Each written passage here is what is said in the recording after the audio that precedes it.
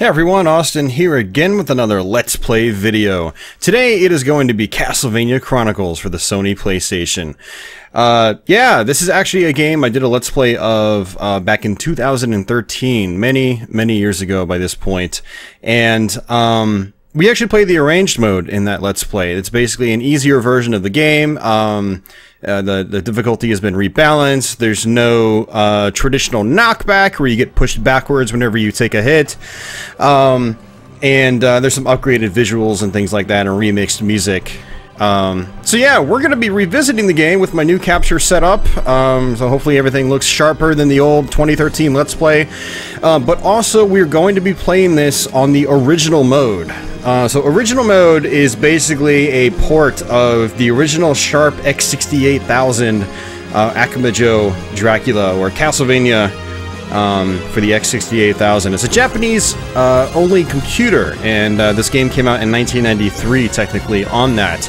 Uh, the Sony PlayStation version was released in 2000 or 2001, I believe, uh, as a PlayStation release with the arrange with the sorry newly added arrange mode, which is pretty cool. So we're gonna go ahead and just click on original mode, uh, but this is a great Castlevania game. Basically what this is, is a, uh, it's like a retelling of the very original Castlevania from 1986. And, uh, you know, it features some of the same environments, some of the same music, uh, some of the same boss fights and things like that, but it's got so much new to it as well, uh, that it's, it's basically a brand new Castlevania game, uh, you know, all the same. It's both a remake and a new game. it's, it's very interesting in that regard. Um, so yeah, guys, this is basically the intro. Um, but before I kick things off and jump right into the gameplay, uh, as usual, I want to give a big shout out to my current Patreon backers. Those guys are going to flash by the screen.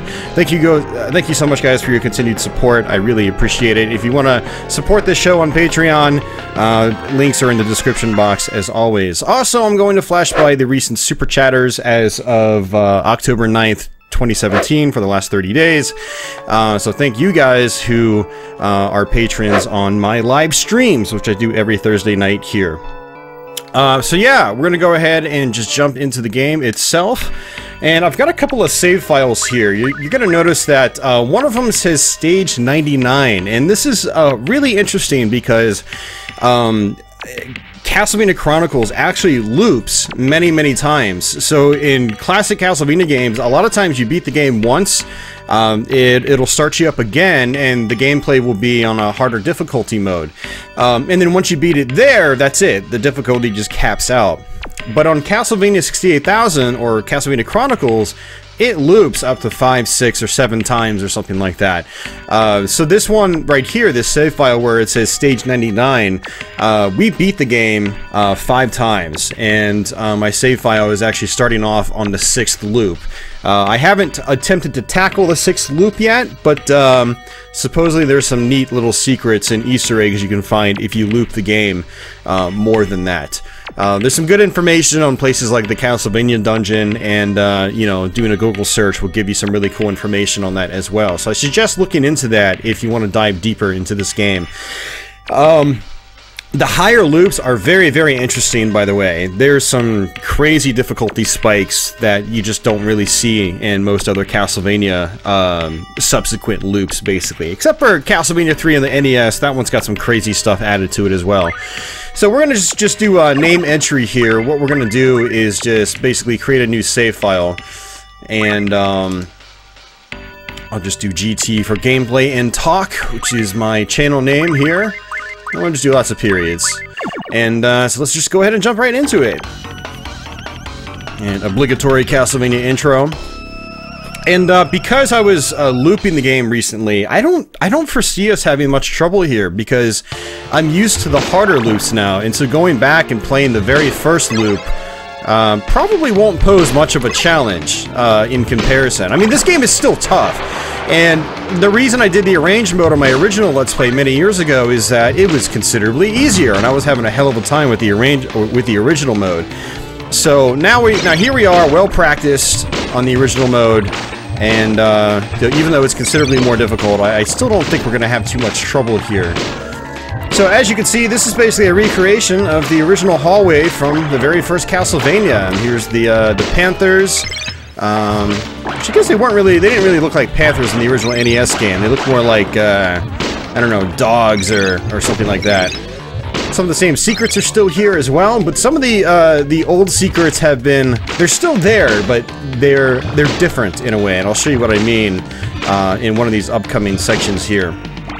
Uh, what I'm going to try is actually grinding out for extra lives uh, on this first section. We'll see if it works. It might not. It's gonna it's gonna depend really. Uh, ooh, look at that! We got the herb immediately. I could cheese the game and just just keep the herb. So the herb is a uh, it's a new item that you get in Castlevania Chronicles, and uh, it uses up 10 hearts and it refills about five or six blocks of your health. And um, so right now I've got 40 hearts, and I could basically use it four times. So let me take a hit here, and I just press up and attack, and it uses it. So here's one of the uh, traditional secrets I was talking about that is now different. It's got hunchbacks just constantly spawning, and they will overwhelm you. Um, but so many of them pop out so quickly, it's actually a really good grind spot for extra lives. And I was wondering why they put this here, and I was thinking about it. I was like, man, this game is so difficult, and if you get a game over, you got to go back to the beginning of each level.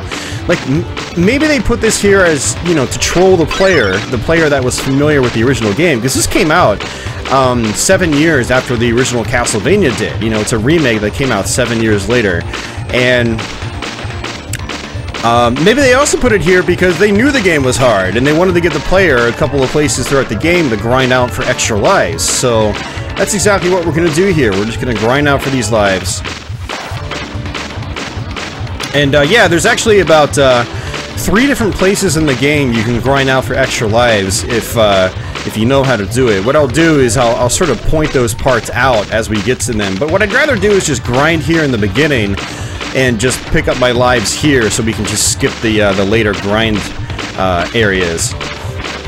Now, it's very, very difficult to do this if you're on a subsequent loop. So if you're on loop 2 or 3 or higher or something like that, um, the bats fly across the screen like they've got jet engines attached to them or something. So it's very difficult to just sit here and grind out on these hunchbacks because the bat will just fly down and nail you. And uh, then these guys will come out, they'll gang up on you and uh, you'll die very quickly. So there we go, we've already got two lives. So we'll go ahead and get one more or so, just, uh, just because we can. So what's kind of neat about this part is, uh, if, if you guys have seen my original NES Castlevania Let's Play, you'll notice that the barrier here is much taller. Um, from what I can tell, there's basically no way to damage boost over this like you can in the original Castlevania. So there's there's areas like that that have been made taller or wider, um, so you can't just you know exploit the uh, you know the the small environments like you could in the original Castlevania on the uh, the NES. So that's neat. It's really neat revisiting uh, these old locations and whatnot.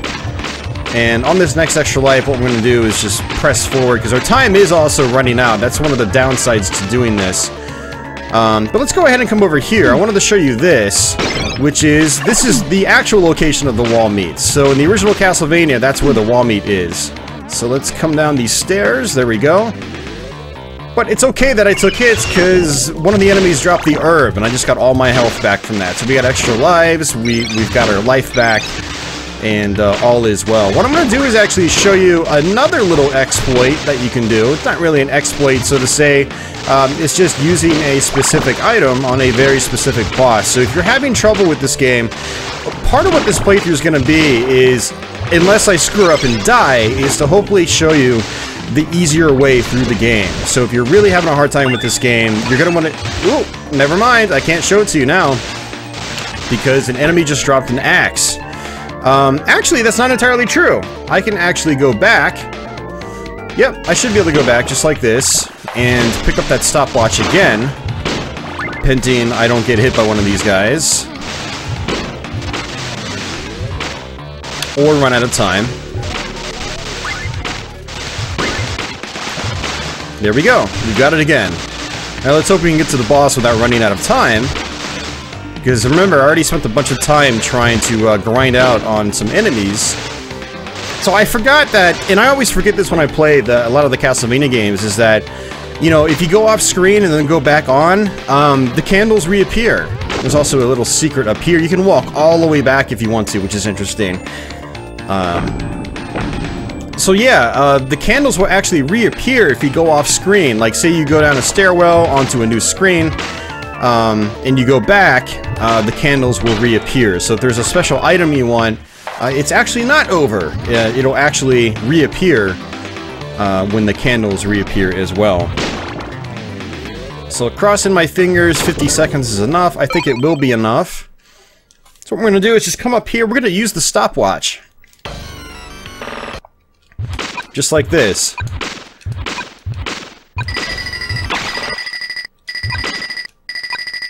And I'm to have to wait for this guy to reform. I'm probably to take a hit in the process.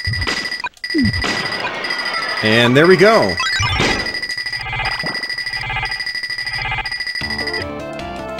Now what I'm going to also do is I'm going to try to keep this stopwatch throughout this next level as well, because you can actually use it on the second boss. And I know when people play Castlevania Chronicles, they have a they have a really hard time with the second boss in particular, and I don't blame them. When I first played this game, uh, the boss of level 2 was definitely sort of my first major roadblock. And Castlevania Chronicles, especially in the original mode, um, you will have many roadblocks for you. I don't I don't care you know who you are or what kind of player you are. You will probably experience trouble with this game uh, just learning it. There's the bat down here. You want to try to attack. Um, otherwise, he'll just start flying at you once you fall down.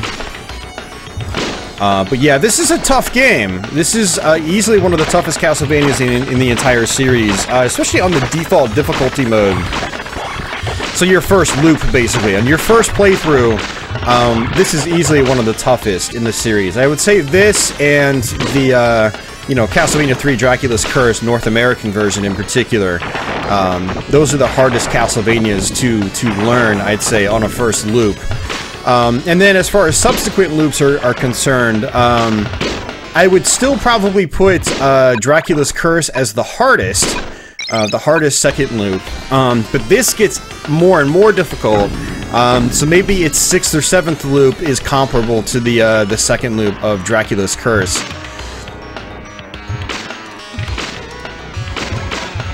Now there are some things that are much harder, uh, you know, in this game on its subsequent loops than Dracula's Curse, but Dracula's Curse on the NES has a couple of things up its sleeve that makes it very, very difficult, such as uh, um, such as an, an, arrangement of the Medusa head concept. And so the Medusa heads we're going to experience in the next stage.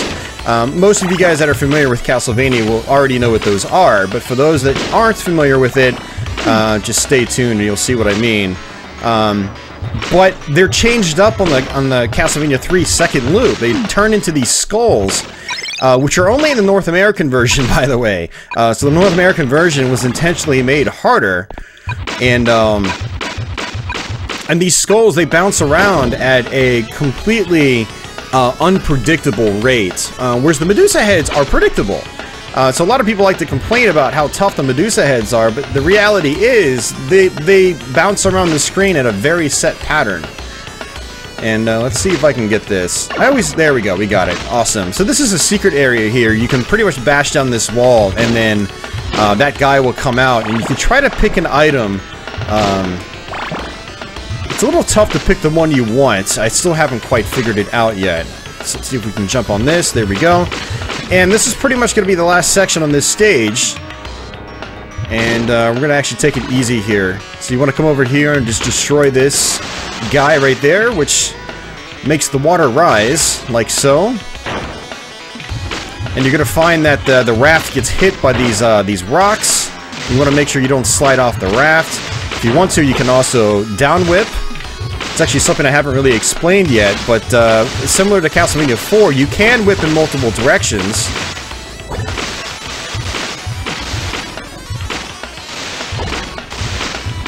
These guys have a tendency of shooting at your level, so it's good to just whip like that.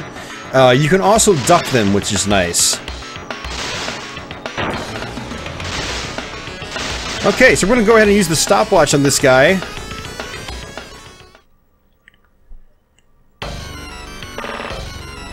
So he's gonna come up. You can hit him twice, I think, before he attacks you.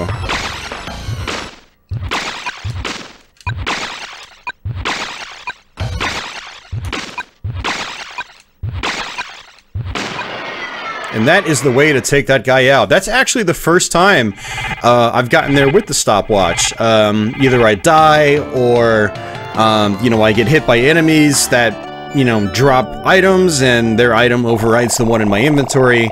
Um, things like that. Things can just definitely not go in your favor in this uh, this game. It's there's a lot of uh, randomized elements to it, uh, and uh, you know, even if you've got the perfect setup, just one little tiny mistake can put you on something that's going to just completely change the course of the rest of the game. Um, so we're on stage uh, three, and uh, there's going to be an item here. We're actually going to pick up the herb again. Uh, so we actually, I already got to show off the herb in the beginning, um, thanks to luck. But uh, there's going to be another herb on this level, and what I'm going to try to do is carry it through um, basically the rest of the game.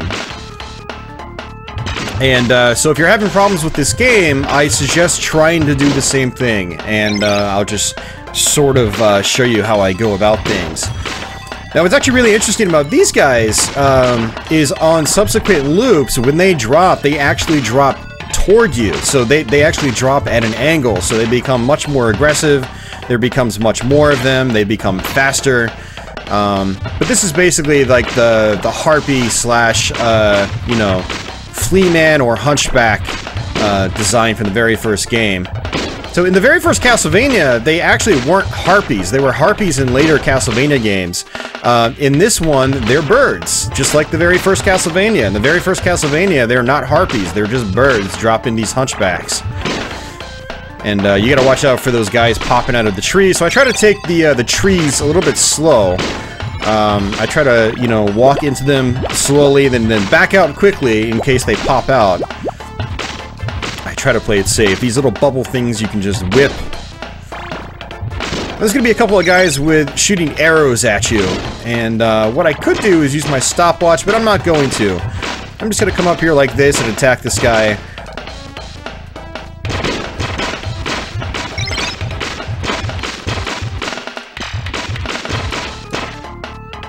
Now, if you're hungry, if you're feeling like you need some help, there actually is some wall meats right here, but unfortunately... Okay, they just respawned. I wasn't expecting that. Uh, but my health was full, so I wasn't able to consume it, but that's okay. And if I wanted to, I could just use my, um... I really could just use my stopwatch, and actually I might do that right here. Because I want to kill this guy, I want to avoid his arrows, and I also want to get that heart there. So that candle actually featured a big heart. So in Castlevania, hearts are your ammunition. You've got small hearts that give you one heart, you've got big hearts and they give you five hearts. And that candle in particular always has a big heart in it. So I'm always uh, keeping tabs on my hearts in this game. There's probably going to be a frog here. Yep. And we're going to go ahead and just use the stopwatch because he can be a bit of a pain. Same with that guy. And we're going to use the stopwatch. Oh, he's going to sink to his death. That's very nice. That doesn't usually happen. Yeah, I'm always looking at my hearts, because my hearts are my ammunition. Oh, here he comes. He's coming back up. Look at that. That's funny.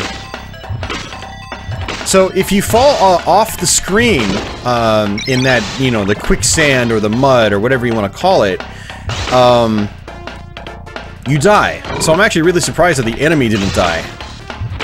So I'm going to try to kill him, because I need to come over here. This is where our herb is. And this is going to make life so much easier.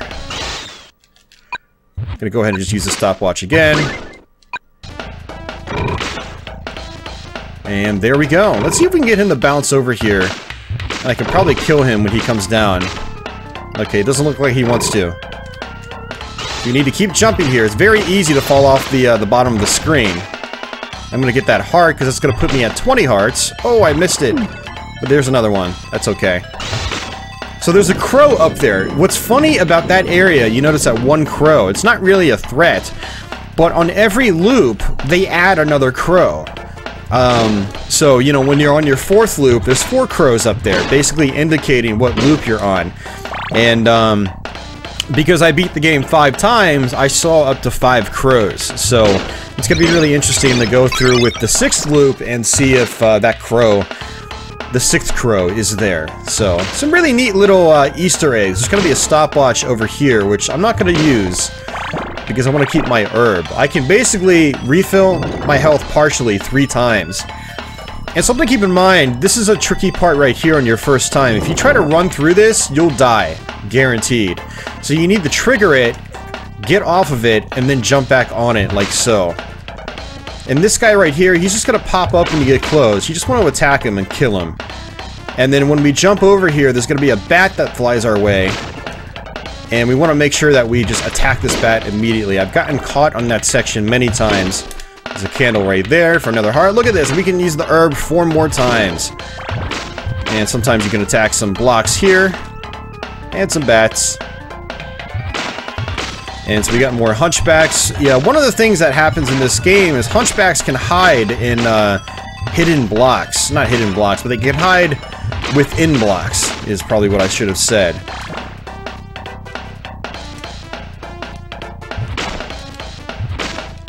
So yeah, like I was mentioning earlier, this does have a uh, an air whip mechanic. Uh, unfortunately, you cannot aim the whip up when you're uh, standing up, but if you're jumping, you can either do it downwards, just by holding down an attack, or do it diagonally, which you just do diagonally down forward and attack, just like so. Uh, it's actually not as useful as what you get in, say, Super Castlevania 4, but, I mean, really, nothing is in the Castlevania series. But it is still useful, nonetheless. Uh, for one, it's a way to attack things below you while still keeping your, your movement and momentum. Um, it's a way to sort of poke your whip through uh, floors like this. Like, if I time this right, I can actually kill these skeletons you can see how the whip is going through the bottom of the floor. So with some clever use of your whip, uh, it is entirely possible to kill enemies below you, below whatever flooring you're on. So I can use the herb five times. So this is great. Great safety net. And it's actually really important on this guy, because on this guy, on later loops, he can take away your hearts. And he's a little high up right now. Oh, he looks like he still takes away your hearts in the first loop as well, but just not that many. I'm gonna go ahead and use one herb.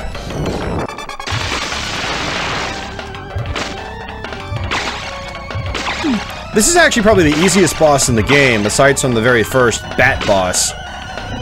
I mean, he's got a few different patterns. When this guy comes out, he just spews, uh, you know, his projectile beam that way. And what we want to do is, if he's really high up, you want to hope that he does the attack where you know, these columns are, you know, propelled upwards. That'll propel you upwards as well.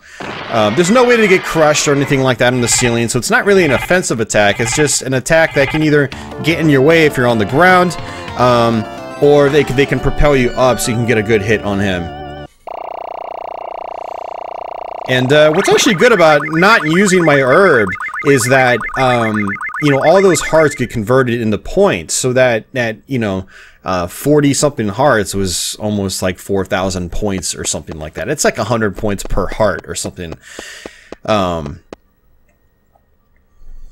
and uh, points like, like that are good. You get points from extra lives in this game. And uh, so yeah, the, one of the big reasons why I wanted to get the herb and I wanted to show you this strategy is that um, as long as you play well and you don't die, um, your items carry over from level to level in this game. So it's it's not like other games, uh, not necessarily Castlevania games, but not other action games where if you've got items, um, they'll they'll go away, you know, between stages. Um, we're gonna go ahead and actually use the herb there. Because I took a couple of unnecessary hits, so I just want to keep my health up.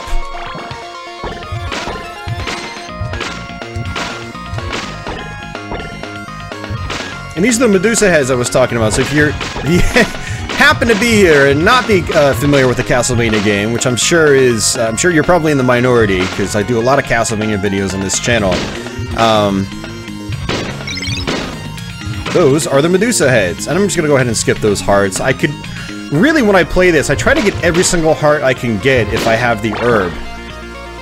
Like, if I picked up those two extra single hearts, uh, I would have had 10 hearts. And I actually intentionally skipped that last candle because it's actually a dagger, and I don't want the dagger. Uh, the dagger is actually a useful weapon. It's often misconstrued as being a useless weapon, but it's actually, you know, far from the truth. Uh, it's a long-range projectile, and that can be very, very useful. Uh, I'm coming over here. This is basically that secret walk-through wall. And uh, I want to come over here because there's wall meat. Not really wall meat. I guess you can call it candle meat now. but uh, I typically have to jump and attack it and then maneuver myself to land uh, at the bottom of that stairwell.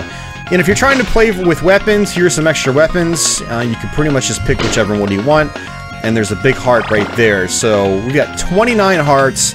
Uh, one more heart will give us another use on our uh, herb, which is great.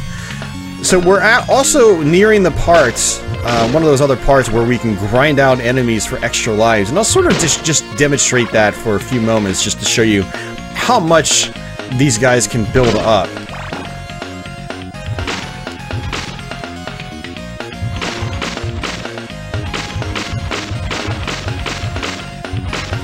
So the statue here basically keeps bleeding out these red skeletons, and red skeletons in the Castlevania series uh, basically can't be killed for the most part. There is an exception in Castlevania 3 for the NES, where if you have Sypha, you can freeze them and uh, then attack them, and then they basically just go away. They're dead for good. Um, but in some of the Castlevanias, like Bloodlines or Castlevania 4, or this game in particular, uh, the red skeletons give you points. Um, they don't give you points in every Castlevania game, but in these ones they do. And in this one, you can see how much they're bunched up. They just keep spawning and they keep spawning. Some of them will fall off this platform, but for the most part, they just keep coming. And you can look at my score and just really see how fast it's going up. And every 50 or 70,000 points or so or something like that is an extra life. I forgot the exact, uh, you know, the exact pattern of extra lives. Um, but that's, think that's how it worked in the original Castlevania. It was something like 50,000 for the first, 70,000 for the next, or maybe I'm thinking Castlevania 3, I don't remember. Um, so yeah, you just sit here and just use this to grind out extra lives. If you're having a hard time, and you don't want to go back to the very beginning of the level, if you don't beat a boss in your first try, or third try, or fifth try, uh, you can sit here and grind out as many lives as you can. And uh, that's enough. Um, I think you guys get the point. It's gonna be bats all over this place. And for these guys, you can just come down here and just whip downward. That's kind of what I was talking about. This is where, like, your down whip can be, uh, can be fairly useful. We took a hit. We almost lost our uh, herb as well. I almost got knocked into that stopwatch.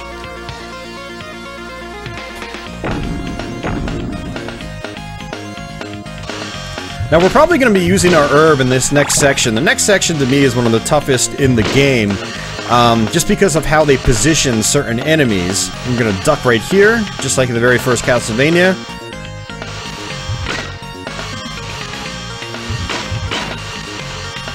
And we're just going to come up these stairs. You can see how areas of the game are very similar to what they are in the first Castlevania, but they're also restructured. So in the original Castlevania, You've got bone pillars up here, the guys that, you know, the bony columns that shoot fireballs at you. Um, they're not here in this section. Instead, you've got, um, you know, these blades that, that move around in a circular fashion. You have to jump and duck. Jump over them and duck under, under them. Uh, but this is what I was talking about. You got these skeletons up top, and unless you've got the axe, uh, it's very difficult to avoid these guys. So what I'm going to do is just use my herb. I can use the herb four more times, unless I get a couple more hearts, which uh, I pretty much will. Now, the next uh, tough part is this guy right here. This guy gave me hell back in the day. Um, but you basically just killed him like, like that. Um, what I used to do is actually walk over the right side edge and just fall all the way down. But what I do now is, since I'm playing with the herb strategy, I just tank. Um, because there's wall meat right here, so I've got my health all the way back.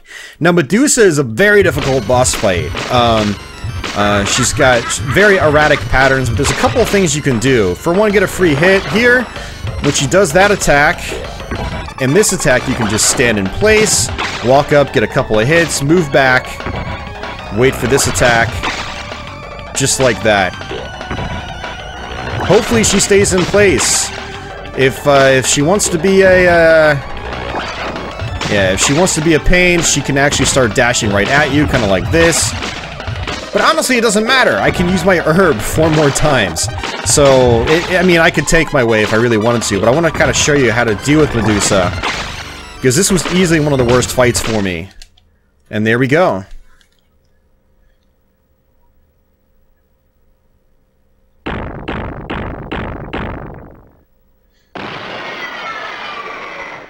So, unlike the first Castlevania, Medusa is not a cakewalk in this game. Medusa is not a cakewalk, and you're going to find that with a lot of the bosses in the game. Uh, they are not cakewalks in this game, but what you will find is that once you figure out their pattern, they are a lot more controllable than they seem, uh, including uh, the boss of this upcoming stage.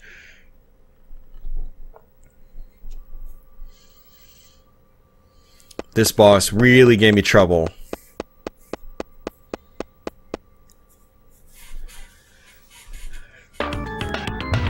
Alright, so we're gonna go ahead and just keep the herb. We're gonna keep playing the herb strategy. I'm gonna still try to show you how to defeat the bosses normally, um, but I want to show you that using the herb can really make life easy, assuming you don't die. That's the only, that's the only thing, is you have to not die, because if you die, uh, you lose your herb. And uh, thus that strategy, uh, kind of goes out the window. So you got two different paths you can take here. You can go up that uh, left elevator side. What I prefer doing is going up this right-hand side. Uh, you got Medusa heads to deal with and whatnot, but this side is much safer. So uh, you just want to take your time, come up and kill these guys. You know, in Castlevania Chronicles, you've got a lot of time on your hands. You can, you know, one of the biggest keys to surviving in this game is just taking your time. And that's how it is in most Castlevania games. Most Castlevania games give you plenty of time to work with. Yes, you have a timer. Yes, it can start to run out if you if you take too long, but usually it it doesn't. You know, you've usually got enough time to do your thing and just take things slow. Like these Medusa heads, they bob up and down, up and down. It's a very simple pattern, but so many people have trouble with the Medusa heads. You see, up and down, up and down. I can just let them just go under me if I want. I don't I don't have to panic when I see them. A lot of people panic when they see the Medusa heads in this game. Uh, take your time. Take your time. And that goes for pretty much any Castlevania that you play. Uh, a lot of people have trouble with the series, um, but the thing about the Castlevania series is they're not really... They're not really as hard as they are just, you know, requiring discipline. And I think that's what a lot of people lack when they play a lot of these old school action games is they, they lack the discipline.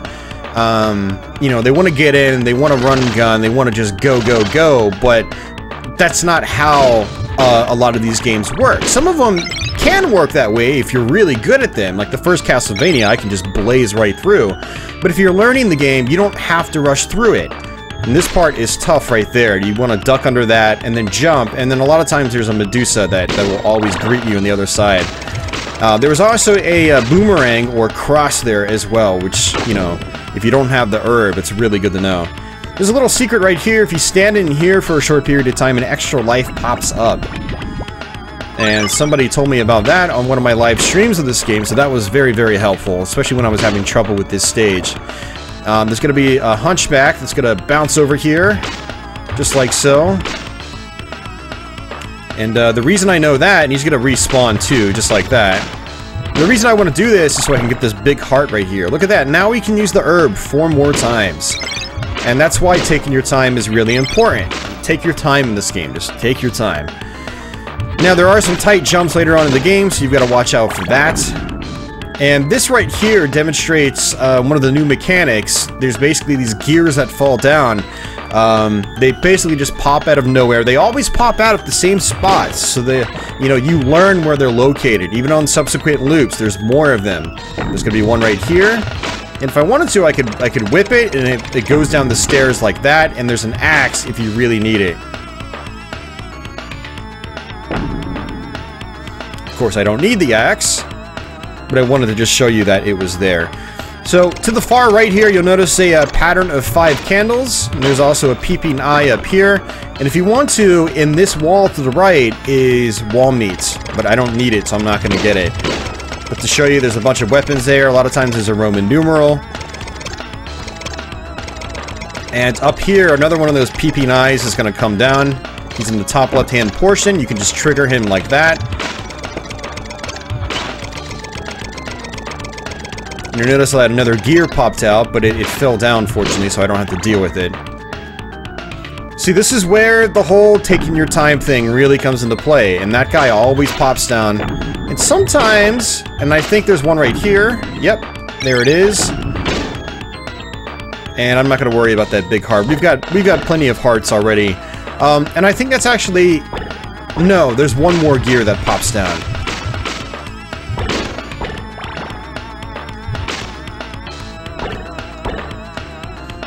So it's to pop down right here, just like so. I'm just to jump. Again, take your time. Another big heart. Uh, we're probably to take a hit here. Yeah, I had a feeling that was to happen. I sort of like, I sort of, uh, oh, another gear right there. I always forget about that one. And I think that's it for the gears, actually. That's, that, yeah, that's all of them.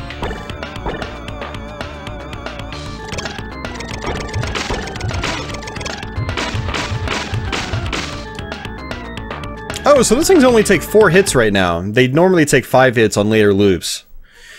Alright, so this is the werewolf. This is a very tough boss, but basically what happens is the werewolf grabs objects and throws them at you. First, he starts on the right side, then he bounces over to the left, like so. And so what we're going to want to do is basically just follow the werewolf from one side to the next. Just like so. I'm going to use our herb. And then as his final panic attack, he grabs uh, one of the clock arms which is pretty funny actually. Uh, he can be extremely aggressive, or she. It looks like a chick, but when it turns into a werewolf, is it still a she? I don't know. Um, yeah, he, he, he, or she will grab the clock arm and just, just come after you. Um, and the clock arm pattern has a couple of different things that could happen too. But that's that's the core gist of it. Uh, the boss always starts on off on the right, bounces to the left, bounces back to the right. Um, after a few times of doing that, he'll start grabbing the actual numbers on the clock and grabbing those, and that's a little more unpredictable for me. So, but you really want to get control over a lot of these boss fights. You need to know the general patterns if you don't want to have a hard time. Because these bosses, you'll notice they're super fast in this game. Um, Castlevania Chronicles has the fastest bosses in pretty much any Castlevania game ever. Um, you know, a 2D Castlevania game, I should say. Uh, but you're also one of the slowest, uh, you're one of the slowest vampire killers in this game, um, compared to other Castlevania games. So that is something to keep in mind. So the bosses are fast, you're slow, which makes it extra difficult. We're gonna go ahead and use that herb, because we had 10 hearts. Now, unfortunately, I'm not gonna have an herb for this next section, because I'm, I'm down to one heart. Two hearts now. So when I'm playing this game, I'm always thinking about, okay, I'm looking at my hearts, I'm, I'm thinking to myself, okay, how many more times can I use the herb, or or whatever power I've, I've got. You know, if I've got a stopwatch, it uses up like six hearts or something like that.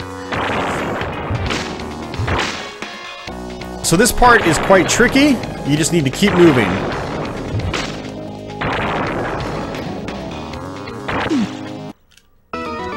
And we just lost our herb, which is going to make the rest of the game a little challenging, but that's okay. I like a good challenge. Especially when I have 10 lives in my reservoir. But I'm going to go ahead and just try to pick up all the hearts I can. See, now I've actually had that happen where I, I got hit by the Medusas, but I was damage boosted high enough up to where I still landed on the platform. Uh, but that didn't happen. Uh, I still fell to my death, unfortunately. Now, throughout the course of the game, there's actually some hidden, um, hidden money bags. So one of them is right here. You just duck right here. It's a little difficult to go up and get it in time, but, you know, it's one of the fun things about this game. It's just like the first Castlevania. There's there's lots of hidden goodies and things like that that, uh, that you can get. I'm gonna fall down here. There's actually a cross. Just like so. And let's try not to die here again.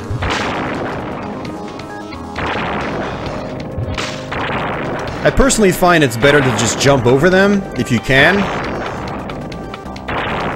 And uh, if you really want to attack them, try to just, you know, down swipe when you're above them.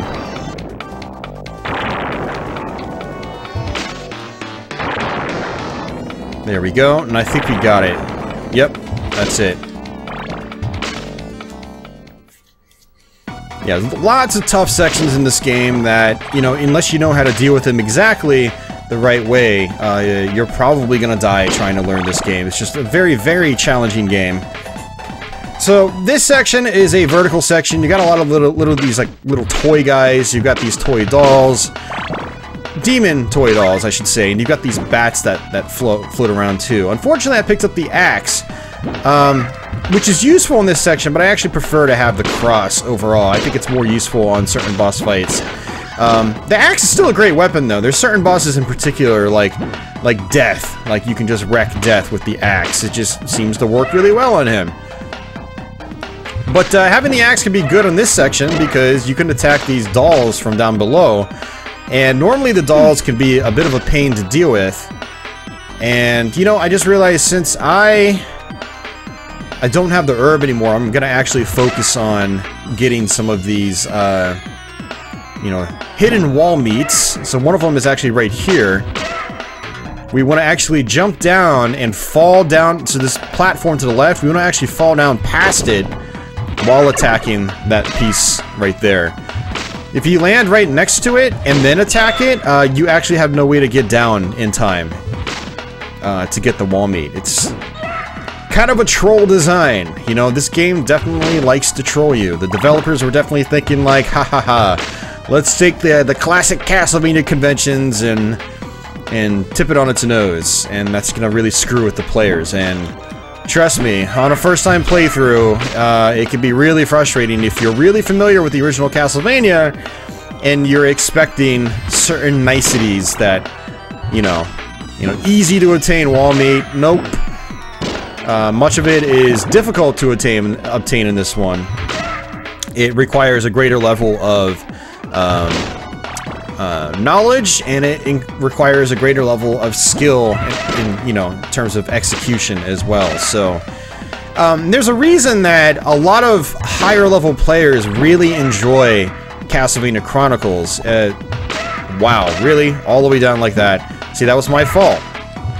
Um, but high level players really enjoy this one because it's got a greater skill ceiling than um, other Castlevania games do. Um, you know, personally, I would just put, I would put Castlevania 3 either on the same level as this, or maybe even a step above it, just barely in the skill department, um, the skill required department. Um, actually, maybe even, I don't know, I wanted to think about that more, I wanted to dwell on that, that thought, but those are by far uh, the Castlevania games that require the greatest level of skill to make the most out of, especially on subsequent loops. Um, but that's why so many like higher level players really enjoy this game. They're even even the little secrets like your wall meat, you know, require more to get the most out of. Um, they require that extra level of knowledge and skill. The great thing about this game is, though, even though it, it really helps to uh, have more knowledge and be more skilled, it is still a fun game that I think even more casual Castlevania fans can enjoy.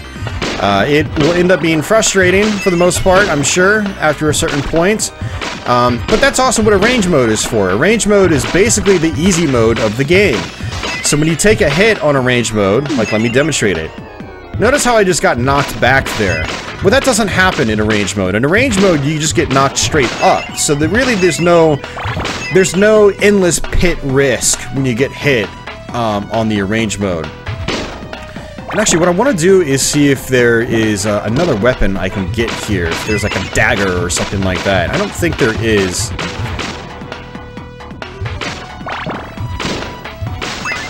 There it is. Now the reason I want that is because I don't remember, but I, I, feel like this boss might actually use the same weapons as you.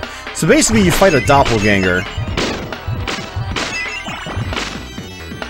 And uh, in the X68000 version, supposedly if you loop the game a ton of times, a secret message appears here in this wall.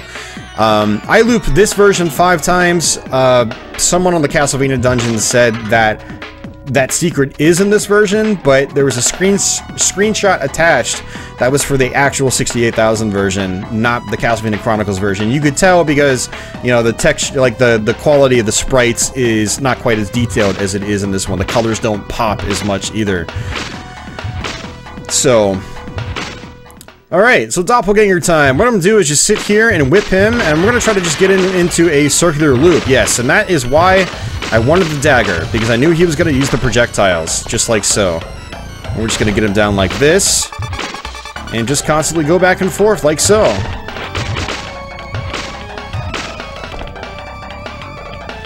And if he had the axe, he would be able to hit me. Um, so that is why I wanted to switch up my weapon. Normally I get here with the, uh, the herb, and having the herb actually makes life easier on this boss. Because he doesn't use the herb. It, you know, I thought I was a genius when I got here the first time with the herb. I was like, oh man, I could just refill my health. But then it dawned on me, I was like, oh no, he can use my weapons. But the catch with the herb is he doesn't use the herb if you have the herb. So it makes the boss fight even easier because he doesn't have any sub-weapons he can use. But if he's got the dagger or the cross or the uh, holy water or or the axe, he can use those on you and make the boss fight harder. So making really good progress throughout the game. We've got two more levels. Basically this level, which is a recreation of Death Stage. And then we've got Dracula's level. Dracula's level is mostly brand new, actually, whereas Death Stage uh, follows much of the same formula as the original from the first Castlevania. Um, Dracula's level is brand new for about 90% of it uh, which is kind of interesting. So you guys will see what I mean. Those of you familiar with the original Castlevania will see what I mean once once we get there. So this guy is popping out right here. You just want to attack him as quickly as possible. He takes five or six hits. And, you know, the Holy Water is not something I really use all that often in this game. I just don't find it's got that same use um, as it does in the original Castlevania. It is still powerful, but it just doesn't go very far. It doesn't stay out very long. Um, it's also kind of like rinky-dink in terms of like the sound effects it, it has and things like that. I just prefer to have my other other weapons. This guy you want to smack three times, and the third time he bounces forward like that. And when he bounces forward like that, you can just duck under him. He just walks right over you. And just ignore those guys on the bottom. Of course, since I've got the dagger, look at that. See? It's still useful. Again, Castlevania is not a game that you've got to rush at. You know, you can you can snipe enemies from across the screen. That was one of the beautiful things about this game back in the day. And it still is, you've got flexibility on how to attack different scenarios. You know, the, the various scenarios in the game. Do you want to snipe from a distance, or do you want to get up close with your whip? You know, I could have sat down here and just used my projectile like this. But I chose to just go in with the whip. I'm gonna go ahead and just tank through these guys. And also, if you see a door like that, that's a new checkpoint. And, you know, once you hit that checkpoint, it's behind you.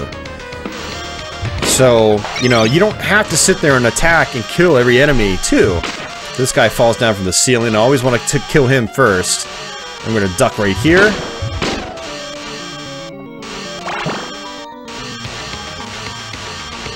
If you grab this heart right here, he actually respawns. So what I do is I just sit here, wait for him to jump back down. It's little things like this that'll really catch you off guard in this game. You know, the constantly respawning enemies. You just want to jump rope over these. I'm going to grab this heart right here, but there's actually is a little secret down here. We're just going to walk straight down here, bust open this wall for some wall meats. And we're gonna kill both those red skeletons so we don't get hit by them. Uh, this part too, these will trigger if you get close to them, like so. So you want it to trigger and then um, just walk past it as it falls down. Now these things aren't timed uh, evenly. Ooh, took a hit. That's not good. And there is a big heart there, but I'm not to need it. So for those of you guys that have played the first Castlevania, um, you know, a lot of these parts will look familiar. Um, you know, all those traps are new, but like this section right here is basically the same. Uh, in the original Castlevania, this would be your checkpoint. You'd walk through the door right there. Now there's going to be an axe right here. We're going to go ahead and just pick it up, and we're probably going to keep this for the rest of this stage. And uh, as far as grinding out for extra lives, this is actually one of the other parts you can do it on. It's basically the last part you can do this on. So there's a bunch of red skeletons. I try to get them, you know, bunched up together, like so.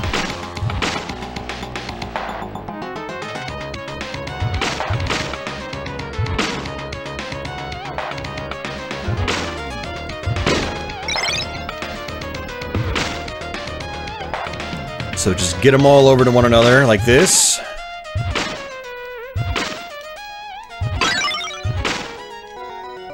Yeah, you can just keep attacking them if you want to. We've got 12 lives, so I don't really need to uh, demonstrate it further.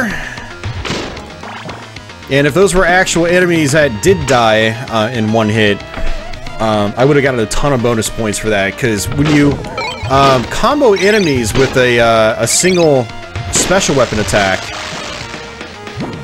uh, you get extra points for doing so.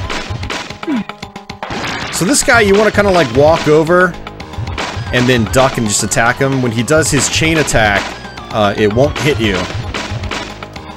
Now this guy could be a major pain, uh, especially on subsequent loops. For one, he, when he explodes in subsequent loops, you'll actually take damage, uh, which is bad. But also, he speeds up and he takes uh, more hits to kill, so he's just very, very difficult. I prefer to just have the herb when I get to that guy, if at all possible.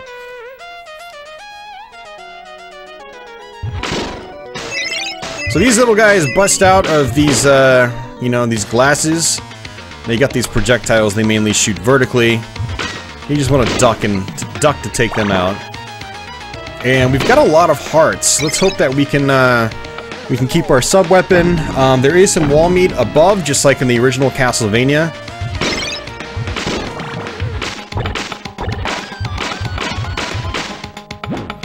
And I'm gonna try to take out that red skeleton, just like so. Because I have to come up here.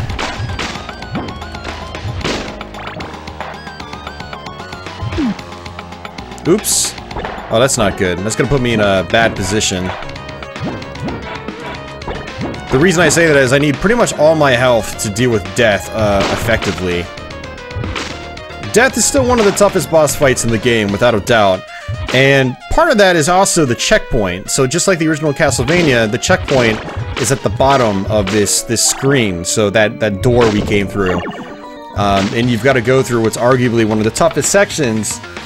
Um, for a lot of people anyway. It's not really the toughest for me anymore. But I remember this section on the original Castlevania NES game was really tough as a kid. So these guys have shields, by the way. If you actually hit them um, on the unshielded area, you'll actually kill them much, much faster. Um, the thing is, they have a good uh, chance of blocking your attack.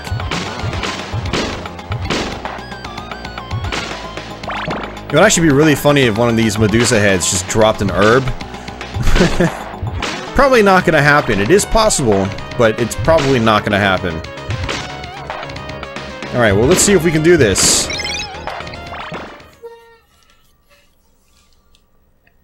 It's all about that boss pattern. So Death is just gonna come over to the right. I'm gonna just axe him.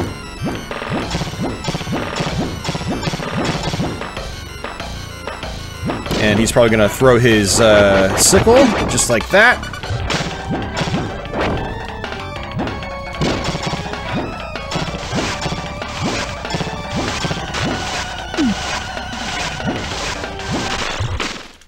And that is why the axe is awesome.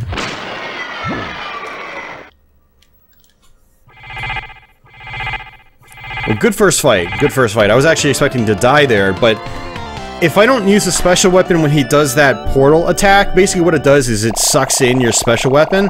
And I was kind of experimenting there, because I noticed the axe was still sort of like bouncing up and doing damage to him. So I kept going with it, and it looks like it worked, but it's risky. When he does that portal attack, you just want to sit in the middle, and these skulls will come to the left and right of you, and you just want to whip them as they come down. Just save your sub-weapons, just whip. And then he goes back to his normal patterns where he's floating around without the portal. But this is it. This is our final stage in the game. And the phenomenal theme of Simon Plays, which uh, originated in Castlevania 4. My personal favorite Castlevania game, which you guys have heard me gloat about many times. So you've got these guys that uh, basically shoot darts at you. And you just want to duck under them. These guys will use those axes like so.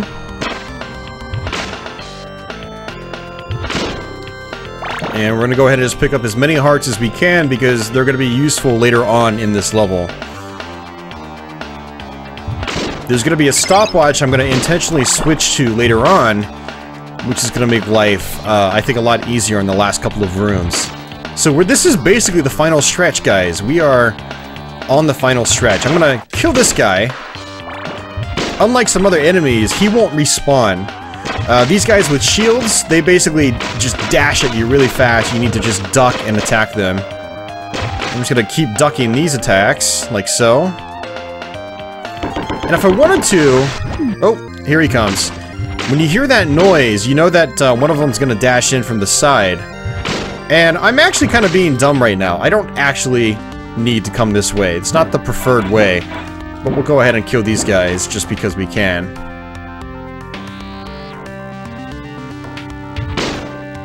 Yeah, so there's a cross right here, which I probably should get, but my axe is at uh, number 3. I basically have the third no Roman numeral, which allows me to throw three axes on screen at once.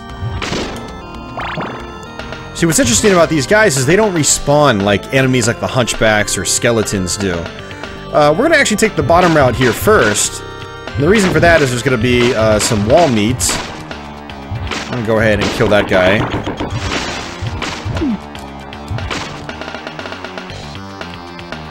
I'm to go ahead and kill these guys too. And there's a dagger right there, so I don't want that. But I do want the meat.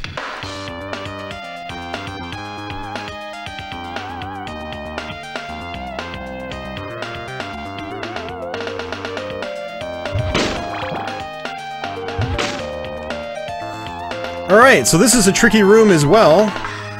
Basically, the whole place just catches on fire, and then you got the chandeliers start falling down to the ground as well, and they do damage to you. So you want to watch out for those. And these guys, it seems to be best to deal with them by jumping and di uh, attacking diagonally downwards. Just like that. They'll die in one hit if you do so. Just like that. This section can actually be really, really tough if you just let those guys overwhelm you. Um, but I figured out the, the weakness the other day, and it's just the diagonal slash is what does the trick. So, just like the original Castlevania, this is that familiar section, uh, which is actually the start of Dracula's final stage, or the final stage in the game, which is Dracula's stage. Um, but in this, it's more, more so halfway through the level. But just like in the NES game, there's to be a stopwatch to get. Fortunately, the bats seem to be pretty easy to take out in this. They, they're much larger than they are in the original Castlevania.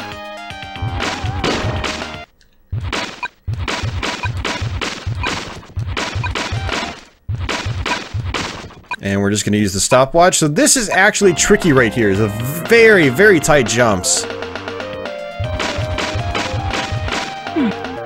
Oops, I didn't mean to do that. It's okay. So what I like to do is just get on the edge like that, be hanging about halfway off the edge. And we're going to be relying on our stopwatch for this next room here. We've got killer maids and more panthers from the very beginning of the game. I'm trying to do as much as I can without the stopwatch. Ah, screw it. We're just going to use the stopwatch. Why not? We only have one more screen after this, and a maid's to fall down just like that. Ooh, I still took a hit. That was my fault. I just jumped right into it. Oh, and we're dead! Because I didn't use my stopwatch like I should have. But that's okay. Now we need to have skill, guys. I don't look at, like, using things like the stopwatch as not having skill. I, I, I mean, having a plan is a, is a certain degree of skill.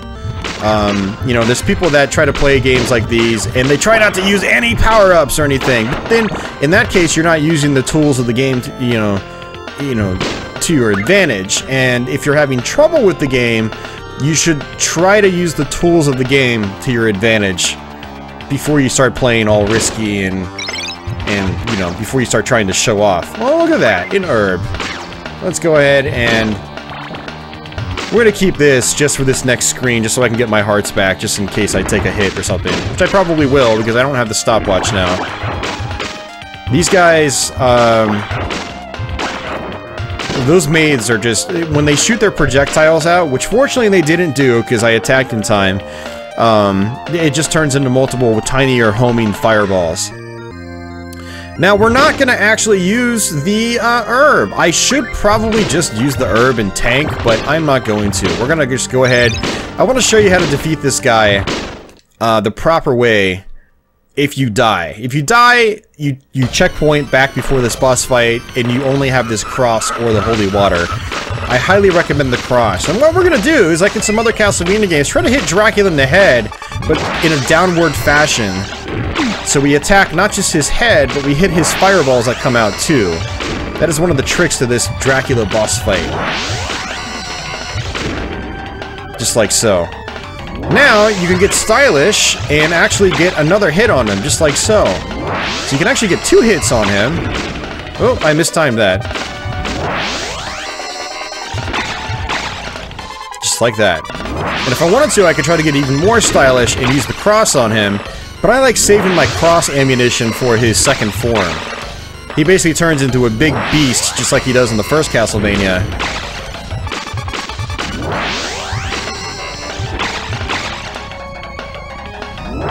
This is going to be our last hit right here. And we need to figure out where he spawns from. He can spawn in different areas. He's going to go to the left, so what I'm to do is just throw my boomerang, like so. And I find that just being very offensive here helps and works wonders. If you see him doing his fireball attack, you can actually jump over it if you time it right. Now you also gotta watch out because he will sometimes... Sometimes reach out. Just, ooh! Oh! Oh, he was about to do his reach out attack and I killed him just in the last moment. We would have died if he actually, if his full attack came out, we would have died. Uh, so that was, that was great. We, we got it. Um, yeah, we got it. First try. That's awesome.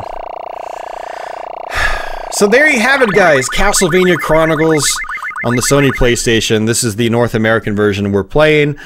Um, there are some other things I didn't really mention in this game. You can use uh, a controller input to access a, a, hidden sound menu, and you can basically change the sound hardware of the game. So this game was originally on a Japanese computer that had different sound hardware you could have equipped, you know, in, in the computer.